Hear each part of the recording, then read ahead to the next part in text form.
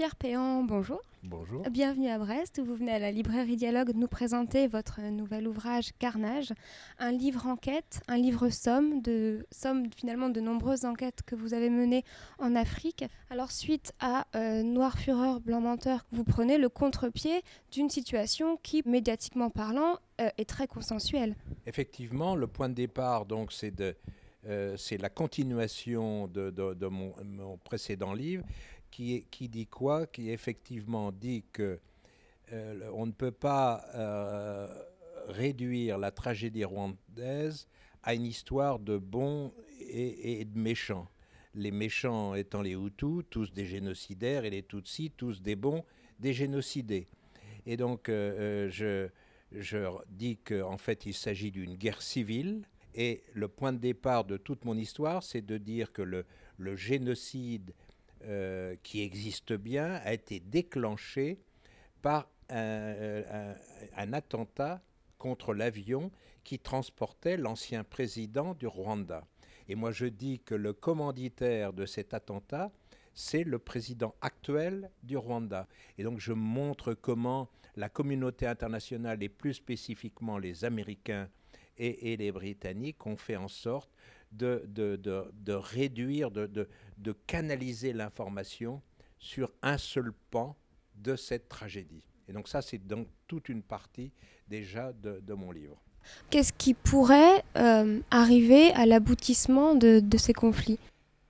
Bah, C'est vrai que quand on regarde une carte aujourd'hui, euh, on voit bien que tout le, tout le, le, le, Zaïre, enfin l'ex-Zaïre n'est pas stabilisé, l'Est du Zaïre n'est pas stabilisé, qu'il y a bientôt des élections et, tout le monde redoute ce qui va se passer. C'est une des, une des, un des fils rouges aussi qui ont fait que j'écrive ce livre.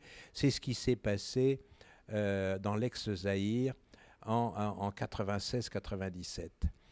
Parce que et, comment, euh, à cause de la désinformation, puisque au fond, tout, ce qui s'est passé autour de la tragédie rwandaise, il y avait ce que j'ai dit tout à l'heure, la version officielle, il y a des bons et des méchants. Et donc, comme les bons pourchassaient les méchants, qui étaient tous censés être méchants, pourchassaient les Hutus au Congo, dans euh, l'ex-Zaïre, eh bien, la communauté internationale n'a rien dit. Donc euh, voilà, ça c'est une chose. Autrement dit, il y a eu des centaines de milliers, voire des millions de morts qui ont été faits dans le silence quasi total de la communauté internationale qui, qui était qui voulait fermer les yeux puisque c'était les méchants qui étaient traqués. Et donc, euh, voilà, j'essaie de, au fond d'élargir et de montrer que la tragédie rwandaise ne peut se comprendre que dans un contexte beaucoup plus large, avec des agendas de, différents pays africains et qu'il ne faut pas seulement